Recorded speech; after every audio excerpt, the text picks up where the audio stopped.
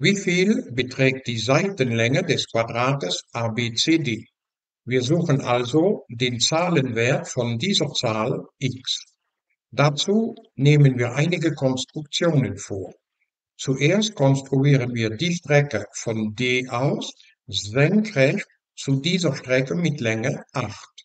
Dann konstruieren wir die Strecke von B aus senkrecht zu dieser Strecke mit Länge 9. Und dann vervollständigen wir diese Zeichnung noch durch diese rote Strecke, Verlängerung von dieser, und durch diese rote Strecke, Verlängerung von dieser. So erhalten wir im Innern dieser Zeichnung zwei Rechtecke und drumherum vier Dreiecke.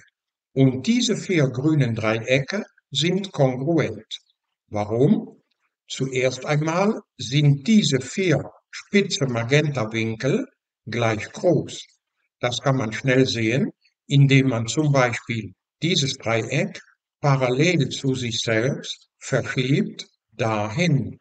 So erkennen wir deutlich, dass diese zwei Magenta-Winkel innere Wechselwinkel sind, also haben sie dieselbe Öffnung.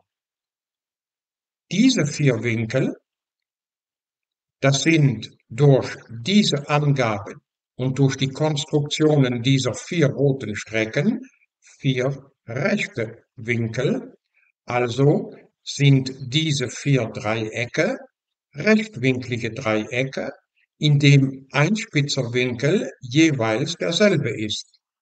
Dann müssen die anderen spitzen Winkel ebenfalls jeweils dieselbe Öffnung haben, weil die Summe von einem Magenta und einem blauen Winkel ergibt ja 90 Grad.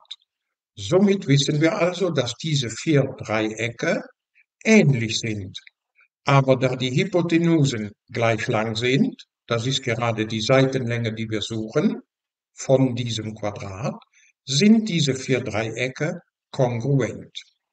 Wir nennen jetzt die Länge von dieser Strecke U und die Länge von dieser Strecke nennen wir v.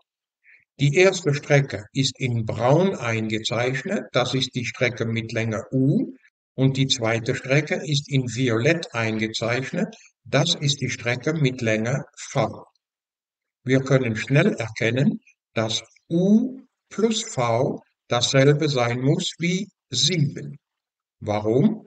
Weil u plus v das ist die große Kathetenlänge minus die kleine Kathetenlänge. Die 7, das ist aber auch die große Kathetenlänge minus die kleine Kathetenlänge. Daher wissen wir also, dass U plus V dasselbe ist wie 7 und somit wissen wir auch, dass dieses innere Rechteck ein Quadrat ist. U plus V ist also 7 und somit muss V 7 minus U sein. Zusätzlich wissen wir, dass 9 plus U, das ist die große Kathetenlänge, 9 plus U, dasselbe ist wie 8 plus V, denn das ist auch die große Kathetenlänge. Also diese große Kathetenlänge, das ist 9 plus U und diese große Kathetenlänge, das ist 8 plus V. Daher wissen wir, dass 9 plus U dasselbe sein muss wie 8 plus V. Aber da V 7 minus U ist, können wir hier V ersetzen durch 7 minus U. Somit erhalten wir diese Gleichung mit unbekannter U. Jetzt setzen wir minus U links rüber, diese 9 rechts rüber und erhalten so, dass 2 mal u 6 sein muss, demzufolge muss u 3 sein. Und da v 7 minus u ist, muss v 7 minus die gefundene 3 sein, das heißt 4. Diese Strecke hat also als Länge 3 und diese Strecke hat als Länge 4. Demzufolge misst die große Kathetenlänge von solch einem rechtwinkligen Dreieck 9 plus u, das heißt 9 plus 3, also 12. Die große Kathetenlänge von solch einem rechtwinkligen Dreieck ist 12. Jetzt die kleine Kathetenlänge, das können wir auch hier erkennen. Die kleine Kathetenlänge, das ist 9 minus v. 9 minus 4 macht also 5.